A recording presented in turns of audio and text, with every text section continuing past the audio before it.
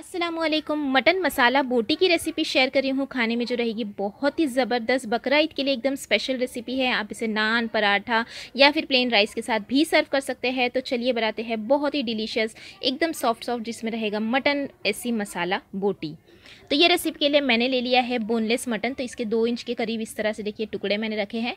अब हम इसे मैरिनेट करना है तो इसे अच्छे साफ़ करके मैंने वॉश कर लिया। उसमें हम ऐड करेंगे डेढ़ टेबल स्पून अदरक लहसन का पेस्ट नमक ऐड करेंगे स्वाद अनुसार हाफ़ टेबल स्पून हल्दी पाउडर डेढ़ टेबल स्पून ऐड करेंगे धनिया पाउडर डेढ़ टेबल स्पून ऐड करेंगे लाल मिर्ची पाउडर, हाफ़ टेबल स्पून काली मिर्च का पाउडर, हाफ़ टेबल स्पून गरम मसाला पाउडर और हाफ़ टेबल स्पून भुने हुए जीरे का पाउडर। साथ ही साथ हम इसमें ऐड कर देंगे हंड्रेड ग्राम दही। दही को मैंने अच्छे से बीट कर लिया था। साथ ही साथ चार हरी मिर्च हम इसमें ऐड करेंगे। हरी मिर्च के साथ साथ थोड़े से पुदीने के पत्ते भी हम इसमें ऐड करेंगे। बहुत अच्छा टेस्ट आता है पुदीने के पत्ते का। दो मीडियम साइज़ की प्याज कटी हुई ऐड करेंगे। साथ ही साथ हम इसमें ऐड कर देंगे कटा हुआ हरा धनिया। और आधा नींबू का रस भी हम इसमें डाल देंगे। ये सारी चीज़ें जब मिलेगी और मैरिनेट होगी ना, तब हमारी मटन मसाला बोटी में बहुत अच्छा टेस्ट आएगा और खाने में भी बहुत ज़बरदस्त लगेगी।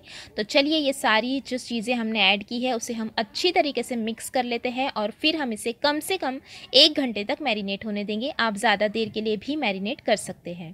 तो ये देखिए, अच्छे से मैंने मिक्स कर लिया और इसे अब मैं मैरिनेट होने के लिए रख दूँगी एक घंटे के लिए। एक घंटे बाद हम इसे एक पैन में ट्रांसफ़र कर लेंगे। तो यहाँ पर ये सारी चीज़ें देखिए मैंने ट्रांसफ़र कर ली है मटन को और गैस की फ्लेम भी मैंने ऑन कर ली थी और जैसे आप देख सकते हैं हल्का हल्का बॉईल आना शुरू हो गया है। तब हम गैस की फ्लेम बिल्कुल लो कर देंगे और 20 मिनट के लिए हम इसे इस तरह से रख देंगे लो फ्लेम के ऊपर। लो फ्लेम पर ही हमें पकाना है, बीच बीच में आप ज़रूर चेक कीजिएगा, नीचे लग तो नहीं रहा, वैसे नहीं लगेगा क्योंकि मटन में दही है, मटन का पानी रिलीज़ होगा तो ये सारी चीज़ें जो पानी रिलीज़ करेगी ना, उससे मटन नीचे लगेगा नहीं। ये बीस मिनट हो चुके हैं, बीस मिनट बाद हम इसे एक मिक्स देंगे। अभी हमें और गलाना है ताकि हमारा मटन बहुत अच्छे से सॉफ्ट हो। जैसे आप देख सकते हैं, अभी प्याज भी हल्की हल्की सॉफ्ट होना बाकी है तो इसे हम बस एक मिक्स दे देंगे इस तरह से बीस मिनट बाद। और फिर से हम इसे ढककर रख देंगे 10 मिनट के लिए। अब हम इसे रखेंगे मीडियम टू लो फ्लेम पर। बीच बीच में हमें चेक ज़रूर करते रहना है। और ये हो चुके हैं 10 मिनट, जैसे आप देख सकते हैं, तेल भी रिलीज़ हो गया है। बस अब हम इस तरह से भूनेंगे दो से तीन मिनट के लिए, जिससे हमारी प्याज भी बिल्कुल सॉफ्ट हो जाएगी और अच्छे से हमारे जो मसाले हैं, वो भी भुन जाएँगे। तो इसका टेस्ट और बढ़ाने के लिए मैंने डाल दिया है एक टी मीट मसाला इससे बहुत अच्छा टेस्ट आ जाएगा मटन मसाला बोटी में। और खाने में भी ये बहुत ज़बरदस्त लगेगी। एक खुशबूदार सी मटन मसाला बोटी आपकी तैयार होगी।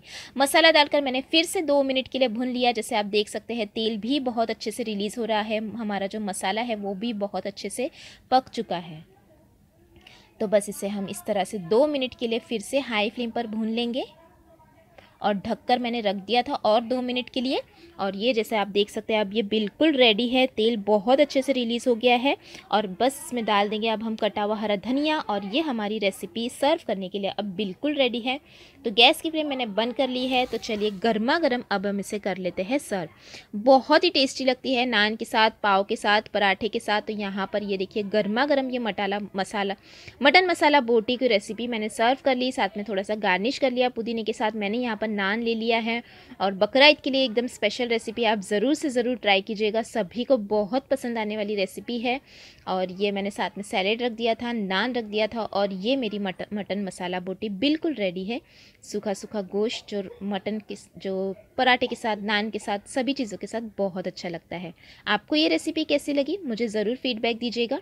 रेसिपी अच्छी लगी तो लाइक और शेयर करना बिल्कुल मत भूलिएगा। और चैनल को भी ज़रूर से ज़रूर सब्सक्राइब कीजिएगा।